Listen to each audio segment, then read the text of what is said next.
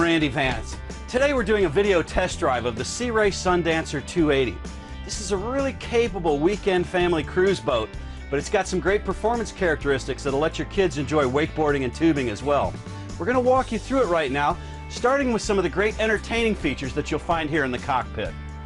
One of the neat things that we found on board the Sea Ray 280 is the way that Sea Ray has taken things and given them kind of a double purpose, like the helm station seat. The back flips back so that you can recline back. It swivels around and now it joins the entire cockpit seating area so that you can join the conversation with your friends. Now for entertaining, you've got this really cool galley here, which has got an electric grill and a freshwater sink.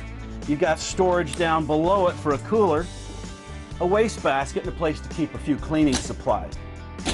Step aft with me. I'd like to show you some of the features we found back there. Now to give double benefits to the great features that Sea Ray's built into the cockpit seating, they even developed this neat trick. We love the way the back of that seat folds down and gives you a full sun pad facing aft. It's right up here next to the swim platform. You can have a seat on it, watch your kids swim.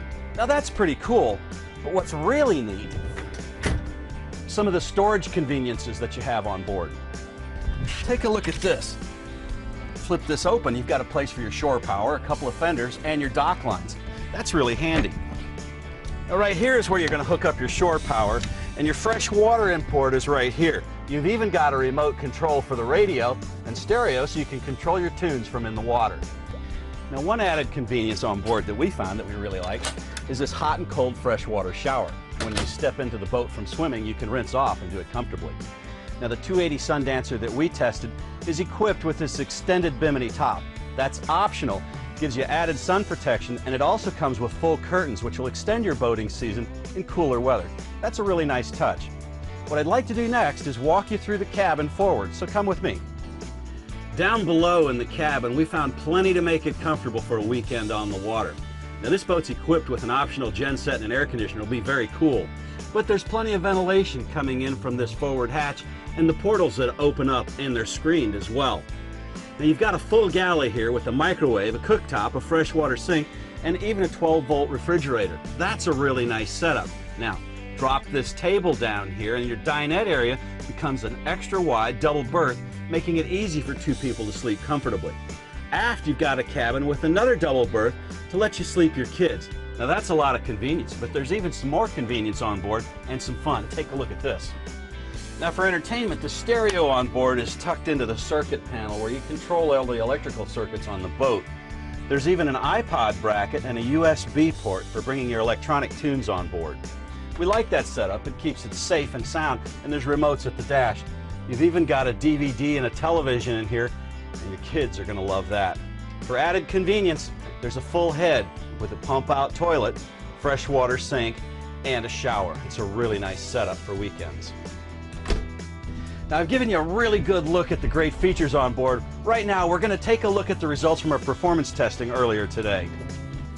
Our test boat was equipped with a Mercruiser 496 MAG HO with a Bravo 3 drive and it was turning 24 inch props. Our test load was 400 pounds of passengers and 40 gallons of fuel.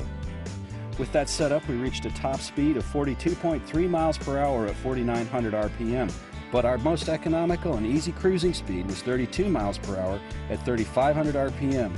At that speed, we burned just 16.9 gallons per hour and got an impressive 1.9 miles per gallon, giving us a very long cruising range. The 280 Sundancer was easy to handle, almost like a sport boat in the open water, and gave us rapid acceleration and crisp turns. It was easy around the dock as well. One of the nice benefits of the Mercruiser SmartCraft equipped boats is the SmartCraft information system, which helps you manage engine maintenance, fuel flow, and other engine functions. One of my favorite Mercruiser benefits is digital throttle and shift. This drive-by-wire system uses electronics to control the throttle and shift instead of stiff and often unyielding mechanical cables. The result is easy shifting and pinpoint throttle control. Well, that's our virtual test drive of the Sea Ray 280 Sundancer. It's a great cruising boat for family weekends, and it's got sport boat capability, which is going to make it a lot of fun for your kids.